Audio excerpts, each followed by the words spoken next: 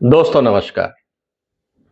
आज मैं आपको एक अयाश राजा की कहानी सुनाता आपने बहुत पहले एक चौथी पास राजा की कहानी सुनी होगी, लेकिन आज जो मैं आपको कहानी सुनाने जा रहा हूँ, वो सच कहानी है।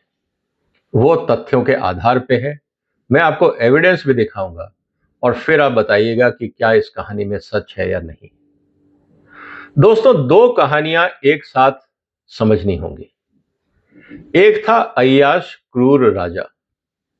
उसका नाम था नीरो। यह कहा जाता है कि जब रोम जल रहा था तो नीरो बांसुरी बजा रहा था। यह इसलिए कहा जा रहा है क्योंकि उसको अपने महल का एरिया बड़ा करना था। उसको वहाँ पे अपनी शानो शौकत के और इंतज़ाम करने थे, लेकिन आसपास की बस्तियाँ जो थी, वो ऐसा करने नहीं दे रही थी। इसलिए उसने बस्तियों में आग लगवा दी। क्योंकि जब आग लगेगी तो सब कुछ नष्ट हो जाएगा, फिर वो सफ़ाई हो जाएगी। और जब सफ़ाई हो जाएगी तो फिर राजा वहाँ पे अपना महल बनवा सकता है और महल को बड़ा कर सकता है। नीरो के बारे में ये कहा जाता है दोस्तों कि जब वो सत्ता में आया तो लोगों को लगा कि ये अच्छा काम करेगा क्योंकि वो अगस्त जो राजा थे रोम के, उसका उत्तराधिकारी था, उसका वंशज था। तो लोगों को लगा कि क्योंकि अगस्त बहुत रेस्पेक्टेबल वहाँ के राजा थे तो शायद ये इंसान भी अच्छा काम करेगा। लेकिन जैसे जैसे वक्त बीता, लोगों को इस व्यक्ति की सच्चाई पता लगी और लोग उससे नफरत करने लगे और हालत यहाँ तक आ गई कि उसको महल छोड़ के भागना पड़ा। और महल छोड़ के भागने के समय उसने आत्महत्या करने की भी सोची, लेकिन उसमें इतनी हिम्मत नहीं थी कि वो आत्महत्या कर ले। उसने अपने साथ जो सैनिक थे, उनको बोला कि आप यहाँ पे कब्र खोदिए और वहाँ पे उसने अपने एक सैनिक को कहा कि अब आप मुझे हत्या, मेरी हत्या कर दीजिए और मेरे को इसमें दफना दीजिए। ऐसे हुई उसकी मौत। लेकिन जब वो सत्ता में आया तो सबसे पहले उसने क्या किया? उसने अपने सगे संबंधियों को रास्ते से हटाया। यहाँ तक कहा जाता है कि उसने अपने पूरे परिवार तक की हत्या करवा दी ताकि कोई उसका विरोध ना कर सके। ये थी रोम के साम्राज्य में जो वहाँ का राजा था जिसको हम बोलते हैं नीरो, उसकी कहानी। मुझे लगता है कि अभी तक इस तरह की कहानी हिंदुस्तान में नहीं थी, लेकिन अब भारत को अपना नीरो मिल गया है। बहुत सिमिलैरिटी है जो कहानी मैं आपको सुनाने जा रहा हूँ। तो आज जो मैं आपको कहानी सुनाने जा रहा हूँ, वो है भारत के नीरो की। इसीलिए आप इस वीडियो को लाइक करिए शेयर करिए, इस चैनल को भी सब्सक्राइब कर लीजिए अगर अभी तक नहीं किया है। दोस्तों, बात है आज के राजा केजरीवाल की, क्योंकि विधानसभा में खड़े होकर उन्होंने कहा था, दिल्ली के राजा हम हैं, ये एलजी होता कौन है? मतलब जिस संविधान ने और जिस संवैधानिक पद ने उसको मुख्यमंत्री बनाया, पहले भाषण में उन्होंने यही बोल दिया कि साहब, दिल्ली के राजा हम हैं और ये एलजी होता कौन है? हमें बताने वाला, रोकने वाला। दूसरी बात केजरीवाल जैसे ही सत्ता में आए, इन्होंने सबसे पहले क्या किया? अपने साथ जो लोग थे, जिन्होंने मिलकर आम आदमी पार्टी बनाई थी, उन सबको रास्ते से हटाया। क्योंकि वो लोग समझदार थे।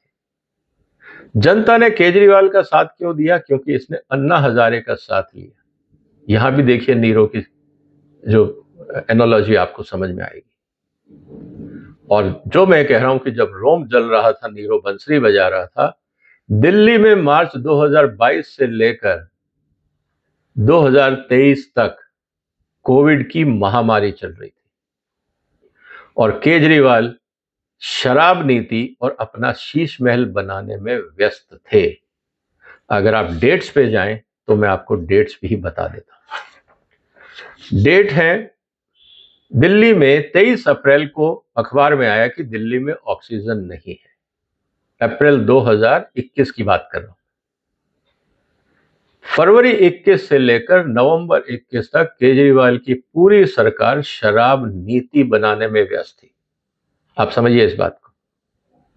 और सितंबर 2020 से लेकर जून 2022 तक केजरीवाल का शीश महल बन रहा था, जब दिल्ली के हॉस्पिटलों में ऑक्सीजन नहीं थी, बेड्स की कमी थी, डॉक्टर्स की कमी थी।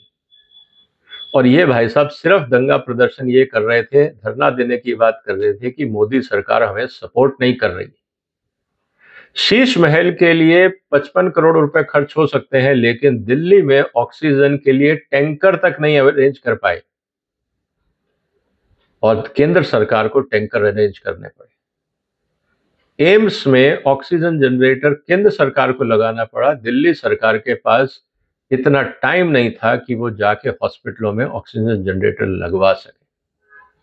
ये स्थिति थी दिल्ली की।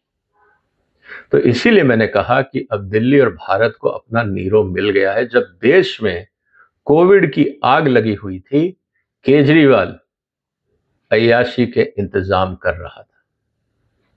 इस बात को आपको समझना होगा। और सर्वे की बात यह समझिए कि दोस्तों सिर्फ़ कर ही नहीं रहा था, जो इन्होंने लिखित वादे किए थे, उनका भी सरासर उल्लंघन था।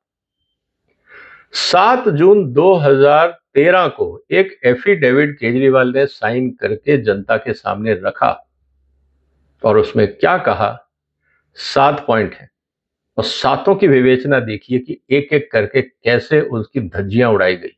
ये एफिडेविट है। शपथ पत्र है, साइन किया हुआ स्टैम्प पेपर पहली बात, मैं लाल बत्ती की गाड़ी नहीं लूँगा। लाल बत्ती तो सरकार ने हटा दी। लेकिन हिंदुस्तान में सबसे बड़ी कार जो मिलती है, बिकती है, वो केजरीवाल इस्तेमाल करते हैं। ध्यान देखिएगा। पूछिएगा कि उनकी कार का मॉडल क्या है। दूसरा मैं अनावश्यक सुरक्षा नहीं लूँगा। दिल्ली पुलिस के अलावा इन्होंने पंजाब पुलिस की भी सुरक्षा ली, क्योंकि इनको दिल्ली पुलिस पर भरोसा नहीं था। इन्होंने पंजाब पुलिस की सहायता ली, अपनी प्रोटेक्शन के लिए। किस बात का डर था? एक जो आम आदमी होता है, ईमानदार आदमी होता है, उसको किससे डर होता है? आपको क्यों कोई मारेगा अगर आप ईमानदार हैं? इसको समझना होगा। तीसरी बात, मैं बंगला नहीं लूँगा। शीश महल की कहानी तो आपने सुन ली दोस्तों। उस पर क्या रिपीट करें? मैं स्वराज की पूरी धारणा से पूरी तरह से सहमत हूँ और सीधा जो जनतंत्र है वो जनता के हाथ में होगी। मैं हर प्रयास ऐसा हर कानून ऐसा लाने का प्रयास करूँगा ताकि जनता खुद बताए कि उनको अपने क्षेत्र में क्या काम करना है। दिल्ली की शराब नीति क्या दिल्ली की जनता से पूछ के बनाई गई? जी हाँ फर्जी 14,700 ईमेल करवाए गए तीन पीआर एजेंसीज के माध्यम से ये कह कि, कि ये जनता दिल्ली की जनता के सुझाव हैं। और सबने उसमें यह लिखा है कि ये बहुत अच्छी शराब नीति है और ये शराब नीति आएगी तो हम सबका भला हो जाएगा हमें आसानी से शराब मिल जाएगी अभी हमें शराब के लिए भटकना पड़ता है। हम जब चाहते हैं वहाँ हमें शराब नहीं मिलती है अब हम जहाँ चाहेंगे जैसे चाहेंगे शराब पी लेंगे। ये थी दिल्ली की जनता का समर्थन। आप उठा के ईमेल देख लीजिए। मेरे पुराने वीडियोस हैं केजरीवाल के। आप केजरीवाल नामा करके एक फोल्डर है। आप उसमें चले जाइए, आपको सारी डिटेल मिल जाएगी। मैं जन लोकपाल और चुनाव सुधार के प्रति प्रतिबद्ध हूँ। आज तक आम आदमी पार्टी में इंटरनल इलेक्शन नहीं हुए सर इनफैक्ट जब आम आदमी पार्टी का घोषणा पत्र बना था, जब इन्होंने अपना ऑर्गेनाइजेशनल का मेमोरेंडम ऑफ़ अंडरस्टैंडिंग बनाया था। तब ये कहा था कि कोई व्यक्ति दो बार से ज़्यादा पद पे नहीं रहेगा, लेकिन जैसे ही सत्ता में आए, सबसे पहले वही अमेंडमेंट किया कि केजरीवाल आजीवन अध्यक्ष रह सकते हैं। तो इंटरनल डेमोक्रेसी ही नहीं है तो बाकी बात आप छोड़ दीजिए। लोगों की ज़मीन छीनने का अधिकार किसी को नहीं होगा। ये बात अलग है कि अपने शीश महल बनाने के लिए इन्होंने आसपास के बंगलों को छीन के अपने अंदर मिला दिया। जो जंगल की ज़मीन थी, वो पेड़ काट के अपने अपने शीश महल के अंदर मिला दी। ये तो इनकी कानून के प्रति इज़्ज़त है। और मैंने आम आदमी पार्टी की विचारधारा और उद्देश्यों को अच्छी तरह से समझ लिया है और मैं पूर्ण तरह सहमत हूँ। तो ये जो लूट खसोट हुई क्या ये आम आदमी पार्टी की अवधारणा थी? उनकी आइडियोलॉजी थी? क्योंकि आपने तो वही किया जो आम आदमी पार्टी की आइडियोलॉजी है। तो अब आम आदमी के कार्यकर्ता, नेता, समर्थक, हमदर्द और जो केजरीवाल के खास लोग हैं, जिनको बहुत बुरा लगता है, जब मैं केजरीवाल की सच्चाई बयान करता हूँ, उनको बहुत बुरा लगता है कि मैं केजरीवाल को बदनाम कर रहा हूँ। भाई, मैंने आपको कहा कि मैं तो एविडेंस के साथ बोल रहा हूँ। और सेक्शन 193 आईपीसी के हिसाब से अगर आप गलत हलफनामा फ़ाइल करते हैं तो तीन से सात साल की सजा हो सकती है। तो ये जो फर्जी हलफनामा केजरीवाल ने जनता के सामने रखा, क्या इसकी सजा नहीं मिलनी चाहिए? अब आप कहेंगे जी, ये कोर्ट में तो नहीं था। जनता की अदालत में तो आपने रखा था। इसका मतलब है कि आपकी नीयत खराब थी, आप जनता के साथ धोखा कर रहे थे। तो सजा तो मिलनी चाहिए। अब रही बात कि साहब, नीरो ने जिस तरह से ऐशो आराम का इंतज़ाम किया, पीडब्ल्यूडी ने लिस्ट जारी करी। लिस्ट जारी करके ये बताया कि साहब किस किस तरह का ऐशो आराम का इंतज़ाम किया गया था। 19 आइटम की पूरी लिस्ट है, मैं पूरा नहीं पढ़ूँगा, क्योंकि ये पूरी लंबी लिस्ट है। इस वीडियो के नीचे में मैं लिंक डाल रहा हूँ वहाँ पे आप क्लिक करेंगे तो आपको ये शपथ पत्र और केजरीवाल की अयाशी का साजो सामान, उसकी पूरी लिस्ट और उसकी कीमतें सब मिल जाएँगी। और दोस्तों, मैं दावे के साथ कह सकता हूँ कि ये जो ऐशो आराम की लिस्ट है ना, हिंदुस्तान में पाँच भी ऐसे धनाढ़ लोग नहीं होंगे जिन्होंने इतना ऐशो आराम का इंतज़ाम अपने घर में किया होगा। मैं गारंटी देता हूँ, क्योंकि एक्चुअली इन सब की ज़रूरत पड़ती नहीं है वेस्टफुल एक्सपेंडिचर आप कितने भी अमीर होंगे, इतनी कॉमन सेंस तो होगी कि यार पैसा वेस्ट नहीं होना चाहिए। क्योंकि केजरीवाल की जेब से कुछ नहीं लग रहा था। इनको लगा कि बिल्ली के भाग का छीका फूट गया, लूटो, ऐश करो जितना हो सके। क्योंकि पता नहीं, ज़िंदगी में फिर मौका मिले या ना मिले। तो हकीकत यही है दोस्तों कि लोगों ने केजरीवाल को सिर पे रखा, लेकिन केजरीवाल निकला नीरो। भारत में एक नीरो का उदय हुआ है। आपको क्या लगता है? क्या केजरीवाल की इस हरकत से आम आदमी पार्टी को सामने आके बताना नहीं चाहिए कि वो केजरीवाल की इन हरकतों का समर्थन करते हैं या विरोध करते हैं? क्या ये पार्टी की आइडियोलॉजी है?